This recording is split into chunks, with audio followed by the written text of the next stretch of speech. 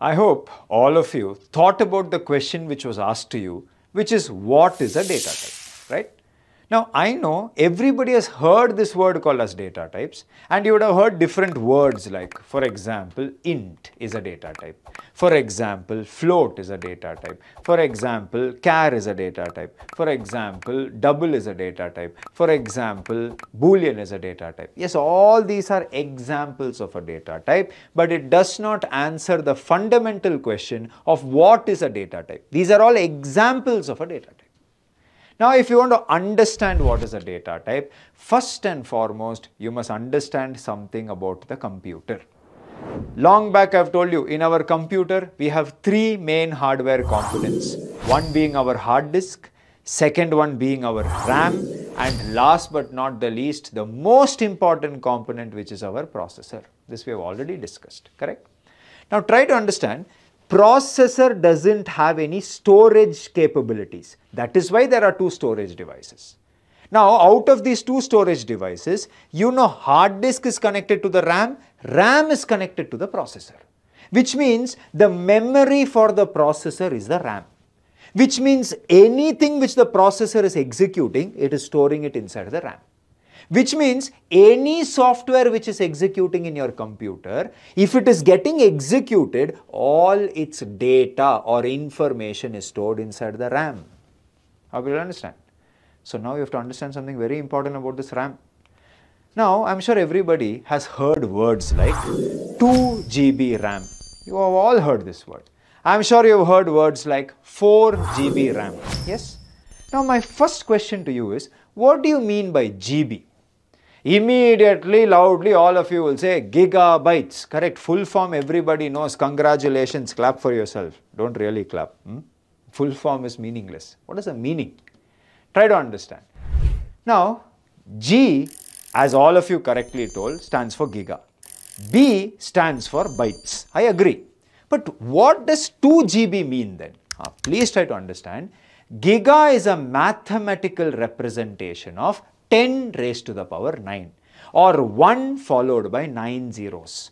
Bytes it's bytes only which means try to understand when you say 10 raised to the power 9 what you are saying is 1 followed by 9 zero bytes. And if you count ones tens hundred thousand like this 1 followed by 9 zeros is 100 crores.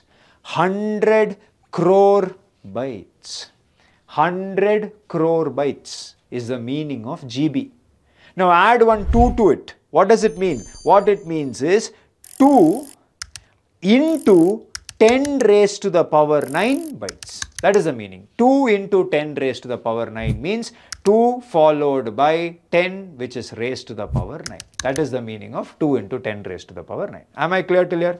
Which means multiply 2 into 10 raised to the power 9. What will you get? You will get 2 followed by 9 zeros you will get 2 followed by 9 zeros. So many bytes are there. I hope you're able to understand. Which means 2 GB RAM means what? You have 200 crore bytes it seems. That is the meaning. You have 200 crore bytes. Am I clear? And this, if you have to visualize it, try to understand. Now I told you this is a RAM. What is a RAM? A RAM is actually, can be represented like this. This is a RAM, imagine. When you say 2 GB RAM, you're saying inside this RAM there are 200 crore bytes, which means what you call as a RAM is a collection of bytes. That is what you must understand. RAM is a collection of bytes. I hope you will understand. Clear? Which means, try to understand, here this is like this, there are 200 crore bytes. Like this, how many bytes are there? 200 crore bytes, 2 GB RAM. Which means, what does 4 GB RAM means? 400 crore bytes. I hope you're able to understand. What does 16 GB RAM mean or let us assume what does your, uh, yeah 16 GB RAM, 16 GB RAM means how much? 1600 crore bytes are there. Which means the only point which I want to enter into everyone's mind is when you say 2 GB, 4 GB, 16 GB, 8 GB, you're talking about the crores and crores of bytes which is present inside a RAM. A RAM is a collection of bytes, point number one. Now some of you will be like, okay, I agree, RAM is a collection of bytes. Now what is a byte, sir? What is a byte? if I take one byte out and look inside it, you will be shocked to see that a byte is made out of 8 small, small, small, small partitions. Sir, what is each of these small partition called as, sir? This one small partition is called as a bit. What is it called as? Bit. And one byte is made out of 8 such bits. Hope you understand. So, RAM is a collection of bytes, bytes is a collection of bits. I hope able to understand which means what you call as a RAM is a collection of bits. Now 2 GB RAM means how many bits sir? You only do the calculation, very very simple calculation it is. What you can now do is 2 GB RAM means 200 crore bytes. Every byte is 8 bits which means how to calculate how many bits? 8 into 2 into 10 raised to the power 9 bytes are there. Hope you will understand which means 8 into 2 is how much? 16, which means 1600 crore bit systems. Imagine. Which means RAM is a collection of bytes, bytes is a collection of bits, which means entire RAM is nothing but a collection of bits. Am I clear till here? Great. Now, try to understand. Now that you understood RAM is a collection of bits, I can show RAM like this, it's nothing but a collection of bits. Now, if you ask me, sir, inside a bit, what is there, sir? If you go inside a bit and see, you will be shocked to see two things. What two things we will see, sir? You will see two transistors, one NPN transistor, one PNP transistor. Two transistors put together is what sets up a bit. A bit is made out of two transistors. I hope you're able to understand. Which means try to understand RAM is a collection of bytes, bytes is a collection of bits, bits is a collection of transistors, which means what you call as a RAM is ultimately nothing but transistors. And anything which is made out of transistors, I've long back told you, is called as a semiconductor technology device. And those of you who have been regularly attending the class and revising knows one more piece of information that what you call as a transistor is a device which is capable of storing one and only one thing. And what is that one thing? Either high voltage or it can store low voltage. High voltage means 5 volts, low voltage means 0 volts. How will you understand? And in computer science, high voltage is only called as 1, low voltage is only called as 0 which means please understand what you call as your RAM which is bytes, bits, transistors ultimately inside it is capable of storing only one thing which is nothing but zeros and ones. And hence the most important point which I wanted to convey. RAM is a collection of bytes, bytes is a collection of bits, bits is a collection of transistors is why what you can store inside a RAM is only zeros and ones. Is this point clear to all of you? Let's move ahead. Now please try to understand. Yes, RAM can store only zeros and ones, but now let's come to the real world. Okay? Imagine in this real world that we are living in, okay? I come to Bangalore. In Bangalore, I come to one place called as BTM, which is where Tap Academy's office is, right? in BTM, outside in the road, let us assume, I will find one very interesting person like this, okay. Now, I will call this person and say, hey, please come inside and I will ask him some questions. So, I will invite him inside office and I will ask him some questions. First question I will ask is, okay, tell me what is your age? Now, he may say 23. Now, what is this 23? This 23 is data, yes or no? Real world data, such a data exists in the world. But if I have to assign it a type, what is the type of 23? I would say it is an integer type data, whole numbers. Yes, age is an integer. Number of students sitting in this classroom is an integer. Number of colleges in a country is an integer. Population of a country is an integer. Yes, integers. Then I'll ask him, hey man, tell me, what is your height? He'll say 5'11, 5.11. 5 feet 11 inches. What is this? This is a real number type data. Your CGPA is also real number 7.2, 8.6, 6.5. Your weight is also a real number 52.6, 65.8, 72.9. Yes or no? Then I will ask him, okay, what is your name? He'll say Rajkumar. Now what is Rajkumar? Character type data. Next I will ask him, are you placed in any company? He will say, yes, I am placed yes or no. What is this? Boolean type data. Correct? Next, I'll be like, hey, what are you listening? You're like, I'm listening to one song. What is song? Audio type data.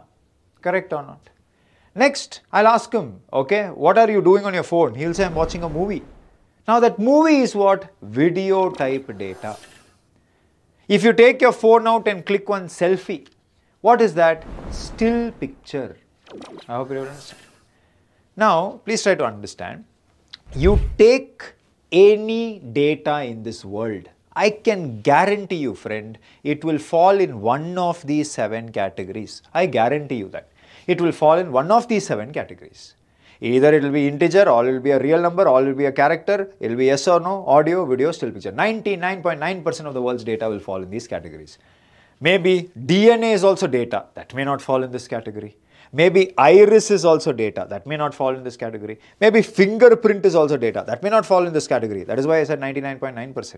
Even Dettol says 99.9% only, it clears germs. Yes or no? So I hope everybody understood. Correct? Now, why am I saying this? Why I am saying this is, now imagine this is a computer. Inside this computer, one software is executing, which is going to take the age, the height, the name, the placement status, maybe the recording of the person, maybe a video of the person and maybe a picture of the person. You know, there are so many softwares which you have used. For example, TAP Academy's Drive portal. There itself when you go and make a profile, you should give all this data. Yes or no? Now this data which you are giving to a software which is executing in your computer, where will the software store it? Please understand if anything is under execution, long back I told you it stores it inside the RAM. Hope you will understand. Which means you must take all this data and you must be putting this data inside the RAM. I hope you're able to understand. This is what you should do. Correct or not? Ah, okay. Now if that is true, please try to understand. I'm just keeping the RAM here. Just now I told you integer example 23, real number 5.11, character Rajkumar, yes, song, movie, still picture, all this is data. Now, please think and answer. RAM is a collection of bytes. Bytes is a collection of bits. Bits is a collection of transistors. Which means what can RAM store? Zeros and ones. That we already established. RAM can store only zeros and ones. On the other end, I have the data of the world. Real world data. Now, this data, please look at this and tell me, is anything in zeros and ones? Tell me, is age of a human being in zeros and ones? Is the height of a human being in zeros and ones? Tell me, is somebody's name in zeros and ones? How many of your parents named you triple one zero, double one zero, one one zero? Whose name is in um, binary? Nobody's name, nobody's age, nobody's height, nobody's weight, nobody's CGPA is in zeros and ones, which means data in the world is not in zeros and ones. But if this data should be stored inside the RAM, it should be in zeros and ones. Did you see the mismatch? Ah, that is why directly I cannot store. Then what to do, sir? That is why, friend, I need a converter. What is the job of this converter? Take data which is in real world form, convert it into binary form so that it can be stored inside the RAM. Now the question is, who will do this conversion for us in Java? That conversion is only done by a facility, my friend, called as data types. Hope you understand. So what is a data type? A data type is simply put a converter which takes real world data which is not in binary and converts it into binary so that it can be stored inside the RAM. This was the answer I was expecting from you but not even a single person told me. So what is a data type? A data type is a converter. What does it convert? Real world data into zeros and ones. Why should you convert? Because in our computer, when a software is executing, it is present inside the RAM. RAM is made out of bytes, bits and transistors and essentially can store only zeros and ones. That is why conversion is required. Understood? Every programming language has data types. Now let's come to Java. Let us assume in Java, friend, you want to store integer for that you need a data type. One option byte, one more option short, one more option you have int and last but not the least you have long. Four options you have to convert integers into zeros and ones. Why do I need four options sir? I will explain. Next, to store real numbers, one option float, one more option double. To store characters, ah, some of you are saying string, the data type is char. Strings in Java is not a data type. Strings in Java are objects. We will be learning it together very soon. Don't worry. Data type is char. Series of characters is string. Anyways, yes or no type data, boolean. Sir, for audio, for audio we don't have data types. We use something called as built-in libraries. Now a library is a hi-fi way of saying that you will be using some other programmer's code. People have written code for many purposes for many years. Everything you don't have to build from scratch. Somebody has already written code for that. You have to just use it. Using somebody else's code is the concept of libraries. Understood? What is it? We will explore later. Similarly, even for video, we have built-in libraries. Similarly, even for pictures, we have built-in libraries. Understood? So when you go to Tap Academy's uh, portal and when you are creating a profile, if they ask you to upload your photo, we will be using a library to handle your image. Yes? If you were to upload a video of yourself, we will be using a library to handle video. If I ask you to give an audio recording, yes, in the AI mock interview, you are giving a audio recording of your answer. That audio is handled using libraries. I hope this much clarity each and every one of you have got. Now in Java primarily 1, 2, 3, 4, 5, 6, 7, 8. How many data types? 8 data types are there. This is what we are going to learn and first thing we are going to start with is integer type data.